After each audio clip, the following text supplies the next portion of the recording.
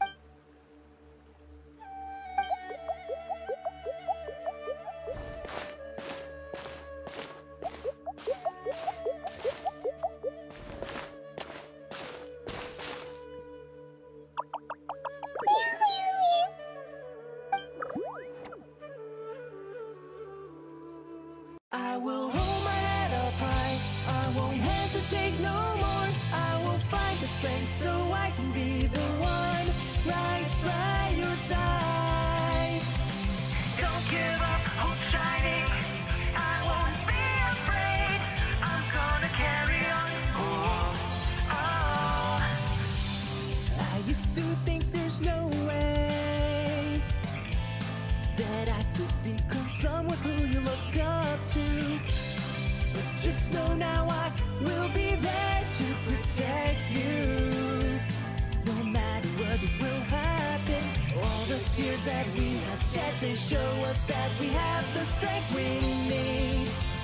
So let's go and face our fears, even though it gets so hard to believe in our shared dreams. We can't let the hardships overwhelm and surprise us easily. Just as long as we endure on this journey together, we will find that if we don't give up, we'll get just what we need. As we see the source of light of our future shining bright, we will find the tears and hardships start to fade for you and me. I won't hesitate no more, and I'll hold my head up high. All the wonders of this world I see when you're here next to me.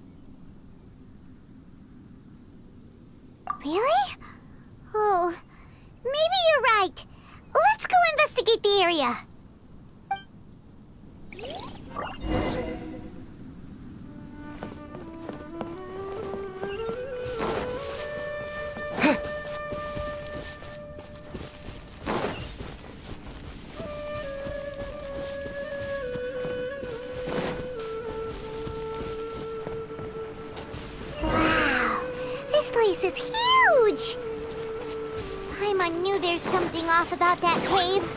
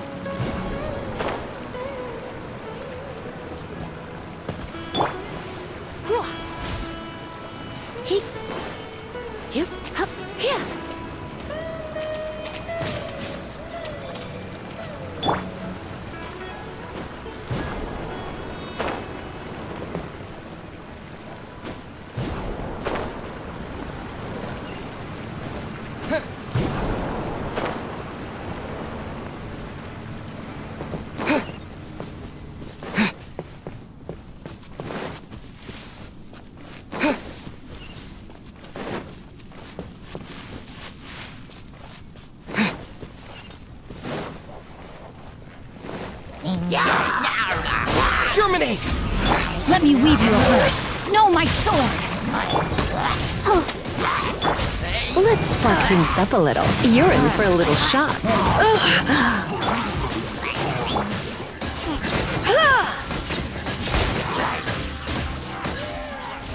Come a little closer. Scatter! Witness the power of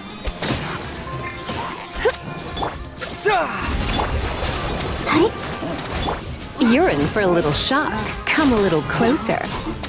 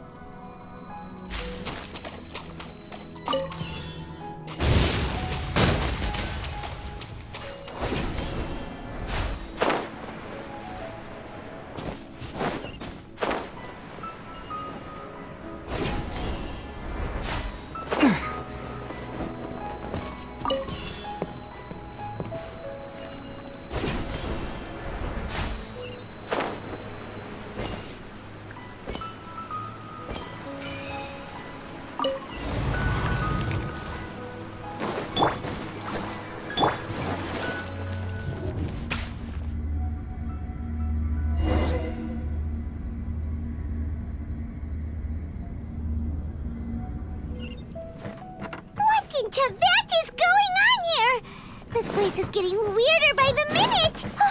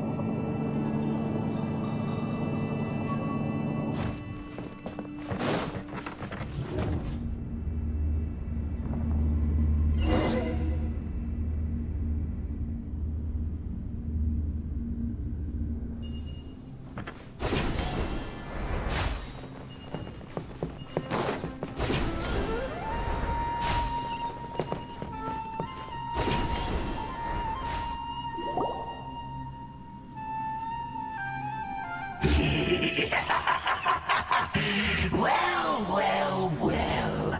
Looks like we meet again, traveler.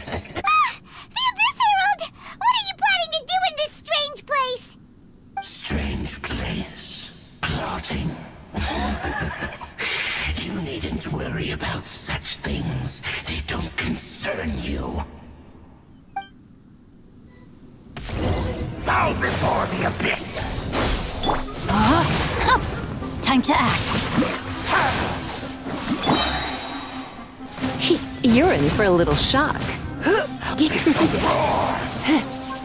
You're in for a little shock. You Come a little closer.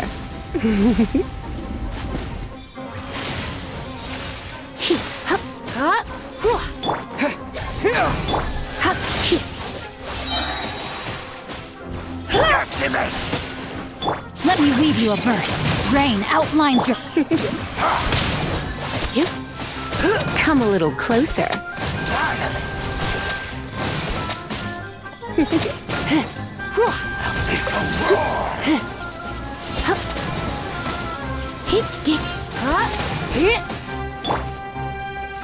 Propagate! Let's dance. It's you time! Surrender, Legion.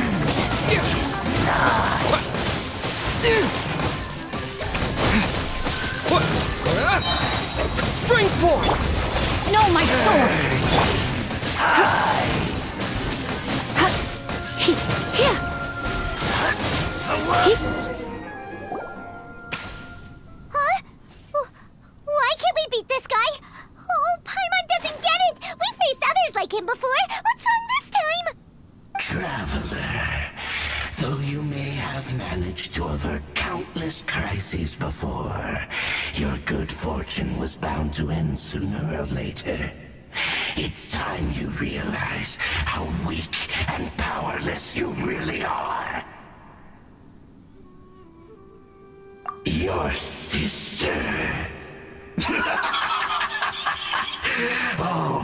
Pitiful traveler. Are you really so ignorant? Or are you just living in complete denial? Her Highness has long since forsaken you. Your meager existence in her eyes is that of an annoying bug, only to be stepped upon. The bonds of love and family which drive you to find your sibling are utterly gone. Your journey is meaningless. But don't you fret now. Today will be your last. Now die!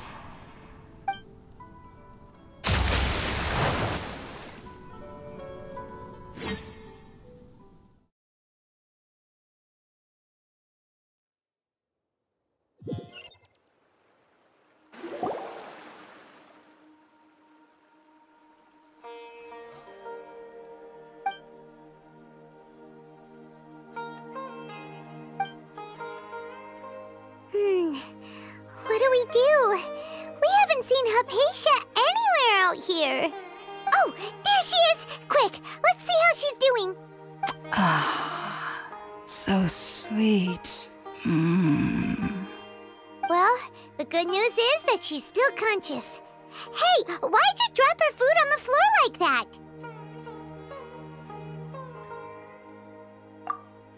Uh, are you okay? That's really not like you. Anyways, we can talk about this later.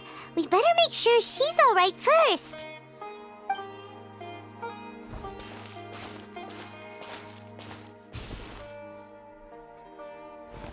Whoa! Wait a sec. Look at all this fruit lying around her.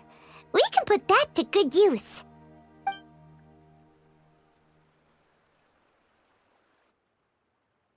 Uh, who is there?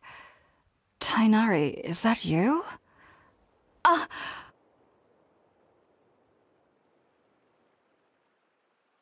Huh?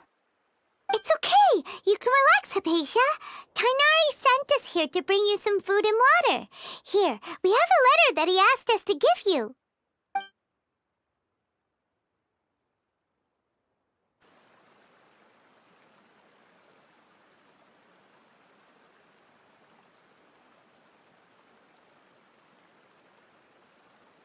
I see.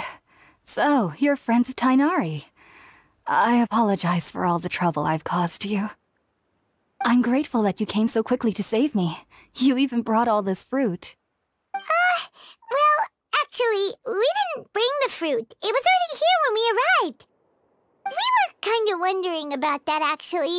When we found you here, there was all this fruit lying around and even some juice dripping from your lips.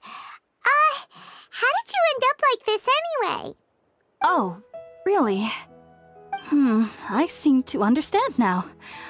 All the fruit was likely from my, uh, neighbor. Must have come by and saw me like this. Your neighbor? You mean there's someone else living nearby? Oh? So you're able to see them too?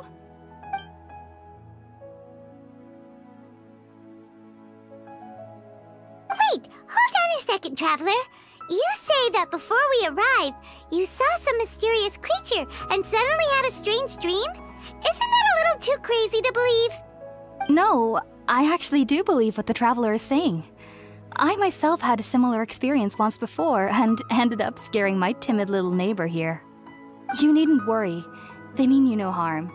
They only dragged you into the dream because they hoped to buy themselves a little time in order to scurry away. So, Hypatia, just what kind of creature is your neighbor exactly? I'm not sure what it's called, to be honest. But I do know that they have some sort of deeper connection with the Dendro Archon. I know this because the first time I saw them was also the exact day my consciousness was able to form a connection with Irminsul.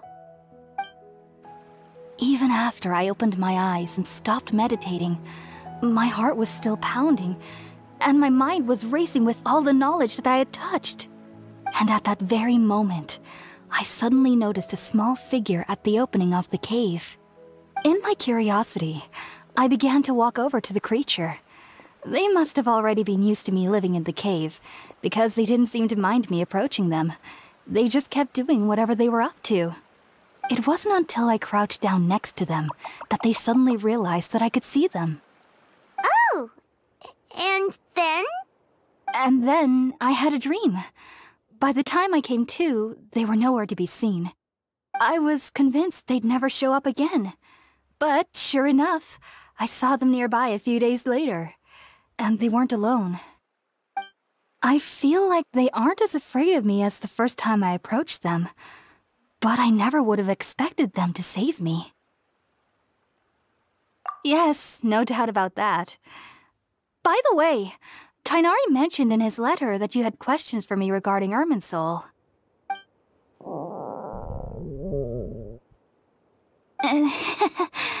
Sorry about that. Sounds like just drinking juice still isn't quite enough for my stomach. Well, if somebody hadn't dropped the food earlier. anyway, looks like we'll need to prepare something ourselves. Besides, Paimon's getting hungry too. Let's eat first and talk about Irminsul later. All right, we're up, traveler. Today's menu will feature sweet madame and a radish veggie soup. You'll love them, Hypatia. They're our specialties after all. Mmm, sounds good. I've never tried any dishes from other nations before. I certainly look forward to it. It's been so long since I've had a decent meal, too. To be honest, the last time had to be when Tighnari came to visit.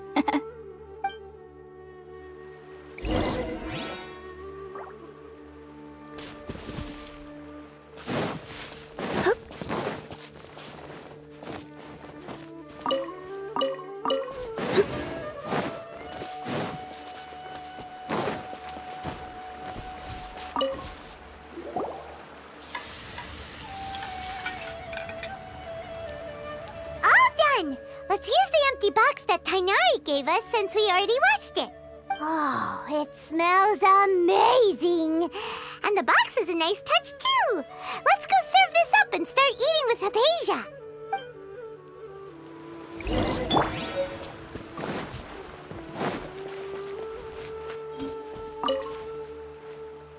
Are you already finished cooking? Mmm, smells delectable. I'm truly thankful whenever I can enjoy a proper meal like this. Uh, cooking really isn't my forte.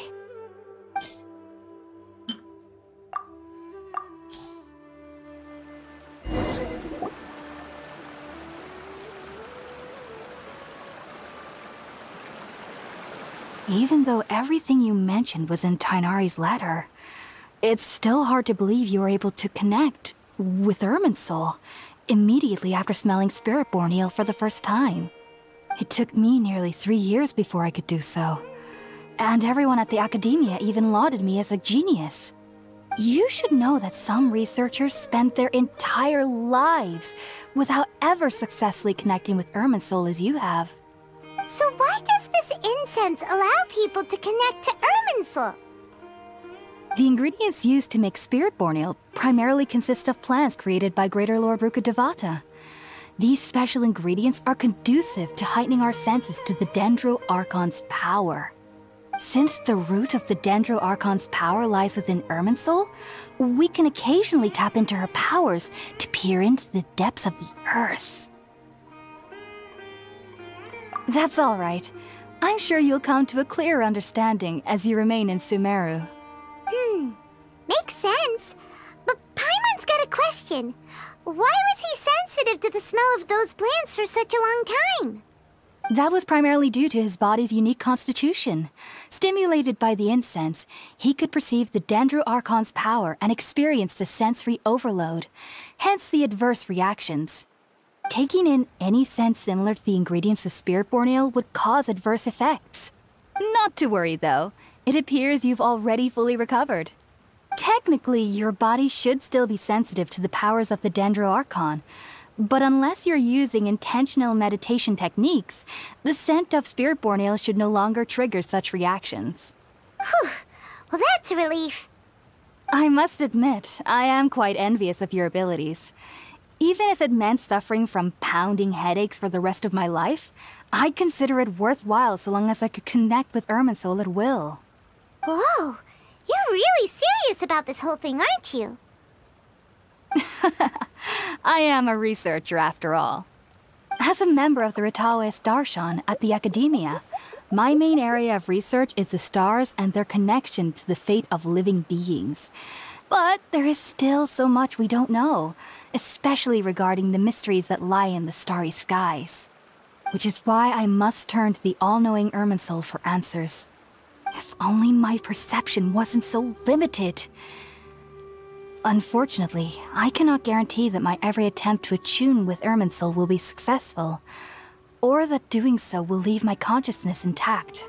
I am currently in the stage of training known as Satyavada life, Many researchers in Sumeru have lost their minds while seeking to attune with Irminsul during this stage. Sages have said that Irminsul contains divine knowledge, and touching such knowledge without the proper preparations and abilities will only lead to one's mind caving in on itself. That's why we meditate alone. We need to ensure that our minds will be calm while minimizing the possibility of involving anyone else. Whoa! So knowledge from Irminsul can be super dangerous. Aren't you afraid of the risks, Hypatia? Of course I do. Especially during nights that are pitch black with no moonlight, and dead silent without even the sound of insects. However, I've been feeling better as of late. I don't get as scared anymore knowing that I have a little neighbor living nearby. I believe that being able to see them is a sort of blessing from the Dendro Archon. but what's strangest of all is that they're clearly an envoy of the God of Wisdom herself. And they have the curious power to make people dream. What's so strange about that? It doesn't sound so out of place for a divine being, does it? Well, it's strange because nearly nobody in Sumeru can ever dream. Huh. Is that true? Yes, well, to an extent. Only children can dream in Sumeru. Adults, however, never do. The sages say that wisdom implies rationality, but that which occurs in dreams is often neither rational nor logical. Yes, if one struggles with anxieties, those emotions could influence their dreams. The fact that the people of Sumeru do not have dreams is seen as a blessing by the sages, they believe that Greater Lord Rukkhadevata, the god of wisdom, is keeping us away from the foolish delusions you encounter in your sleep. I was born into a family of scholars in Sumeru City. Ever since I was a child, my parents would always tell me that I'll know I've grown up once I stop dreaming. I studied hard, enrolled as a student in the academia, and went on to become a researcher. sure enough, I never dreamed again. But then, on the day I scared the little Aranara, I suddenly saw a dream again. It was incredible. Though I don't exactly remember what I saw, I clearly recall the feeling. I suddenly felt like I was a child again. Back then, I was foolish and ignorant as any youth would be, but I was free of fear. Maybe dreaming isn't as bad as we've made it out to be. Uh, just be sure not to speak of this if you travel to Sumeru City. They'll look at you as if you've lost your mind. So, do you have about the things he saw when he connected with Irminsul? Sorry. I'm afraid I don't have any answers as of now. All I can say is that what you saw is a memory contained within Irminsul itself. Hmm. World forget me. What could that possibly mean? Uh, if only I could ascend past Satyavada life and begin Paripurna life. I might have some more answers for you. Ah, if you two are ever in the area again, please be sure to come and see me. There's no need to be thanking me. You two are my saviors.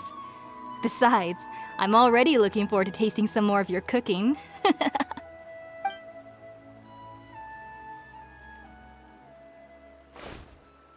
Now that we know Hypatia is alright and had the chance to ask her some questions, Paimon thinks it's about time to head back to Gandharvaville.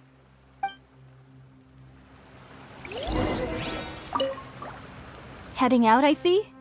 If there's anything else you'd ever like to ask about, you know where to find me. Even though that little neighbor of mine was able to induce a state of dreaming, I doubt they were able to control the actual contents of the dream. The end of your dream seemed quite terrifying. Perhaps there's something that's troubling you deep inside? Not to worry, though. I'm sure you'll be able to handle whatever comes your way in the real world.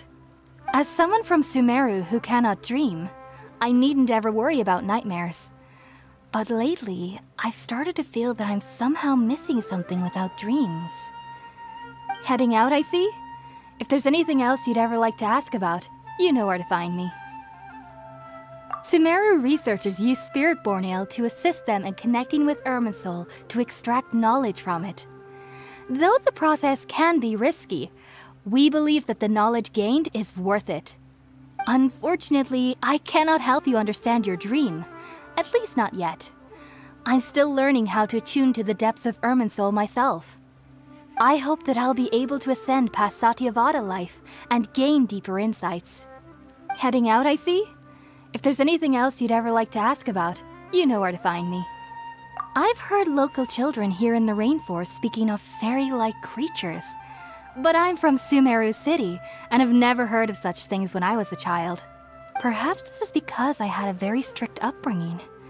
My parents would seldom allow me to play with other children. I doubt they'd ever believe me if I told them about my little neighbor out here. And speaking of my little neighbor, I think they can somehow sense when Tighnari is coming to visit me. I've noticed on several occasions that as they're playing under the trees, they'll suddenly tense up and scamper away for no apparent reason. Shortly after they do this, Tighnari always shows up here.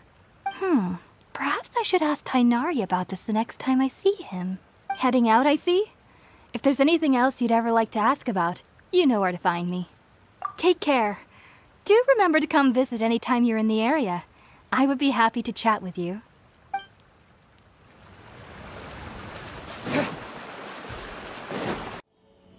Think about it, Tighnari. Refusing to join is tantamount to burying your head in the sand. I understand that you're a forest watcher and that it's your duty to combat the effects of withering zones. But isn't it evident that such work is not a lasting solution to the problem? As Sage Kage clearly stated, your presence and guidance in Sumeru City is pivotal in finding a cure for Irminsul. How could you possibly refuse? Keep your emotions in check, Gulam. Let's at least listen to Tighnari's reason for declining. We're here to invite him to the Academia, not to cause a scene. Sage Kage, I am truly honored that you came here in person, but I'm afraid I must still decline your invitation. I am merely a forest watcher. How could the great minds of the Haravatat have any need of someone like me? well, it turns out that your refusal letter had some implications on your master's reputation. He is a renowned sage of the Amurta, after all. So now I've come here in his stead. I see.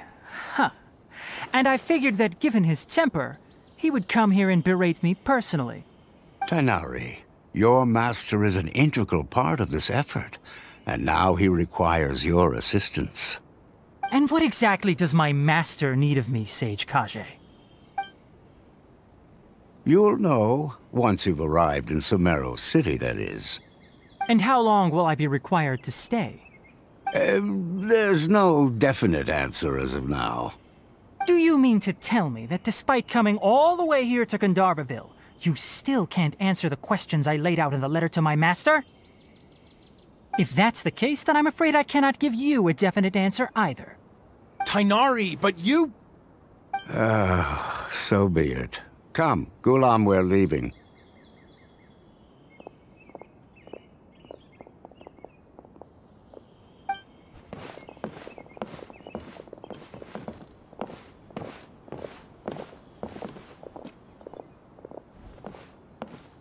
Uh, Tighnari, what was that all about? It's nothing. Some people from the academia wanted me to go to Sumeru City to assist them with a project, but I had to refuse on account of all my responsibilities here. But all that can wait. How did things go with Haypasia? It was quite the eventful trip, but the main thing is that she's safe and sound. She answered a bunch of questions for us, too. Very good. Now that the traveler has made a full recovery, there shouldn't be any reason for you to tarry here longer. I assume you will be heading to Sumeru City, correct? That's right. We want to meet Lesser Lord Kusanali and ask her for advice. Um, do you have any idea on how we can find her? Sorry. I'm afraid I don't have any advice for you there. Well, do you at least know anyone we can try asking in Sumeru City? Hmm, let me think. My trips to Sumeru City have been fairly short, and most of my acquaintances are researchers. How about this? I'll write you a letter of introduction that you can give to a researcher I know. He's from the Amurta Darshan and is adept at gathering information. Asking him might prove worthwhile. Also, when you enter Sumeru City, you'll probably end up receiving something like this item here. I'm not sure if it will ever come in handy for you, but maybe you can give it a try. Oh? What is it? It's called an Akasha Terminal. It's a tool produced by the Academia that utilizes the legacy of Greater Lord Rukkhadevata. Some say that this very item is the basis of Sumeru's reputation as the City of Wisdom. Needless to say, this device and its usage fall under the Academia's expertise, so I'll leave it to them to show you how to use it. Great! Next up, Sumeru City! Uh, oh, but wait, before that. That's right! Tighnari, we have something important to say to Collei before we leave. Is she doing better now? Yes, she's doing much better. After being confined to her bed all this time, I thought a little walk would do her some good. Last I saw her, she was taking the path towards the North Crossing. She knew you two would be leaving soon, so she must have wanted to see you off. Thanks, Tighnari. All right, let's go! Farewell, and good luck to you both.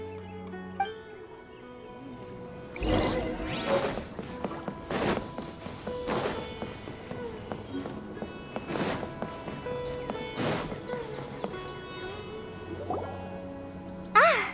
I've been waiting for you two. I, uh... Well, uh... Never mind. I guess I should just wish you two a safe and successful journey. Thanks for waiting here just to see us off, Collei. We're headed to Sumeru City. Don't worry about me. I can take care of myself. My condition won't be getting in the way of my duties. I want to be a forest ranger after all. It's up to me and the others to protect the rainforest here. And, uh... Well, uh... I'm sorry. I should have told you both about my condition when we first met. I just wanted you two to treat me as a normal friend. Not some girl that needs your sympathy. But I guess now I understand that the most important thing is for friends to be genuine with one another. There's no need to apologize, Collei.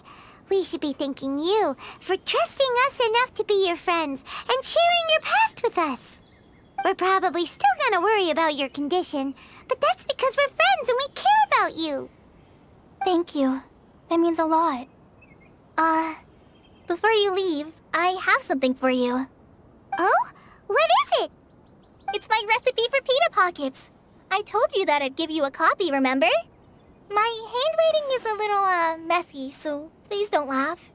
Yay! Thanks, Collei. Now we can eat those scrumptious little pitas whenever and wherever we like. I hope that whenever you eat them, you'll both remember your time here in Gandharvaville. Well then, I, trainee Forest Ranger Collei, bid you both farewell. Please visit Gandharvaville again. The Rangers will always be ready to assist you here.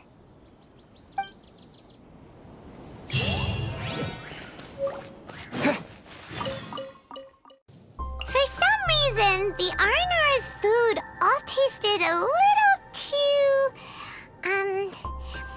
to put this? A little too fresh. It's totally different from what we usually eat. Yeah, but their ingredients are top quality. Yeah, that's true. Still, those mushrooms and fruits were so raw, it felt like they were gonna keep growing in Paimon's stomach. You're exaggerating, right? You do have a point, though. Maybe the best ingredients don't need a lot of fancy cooking.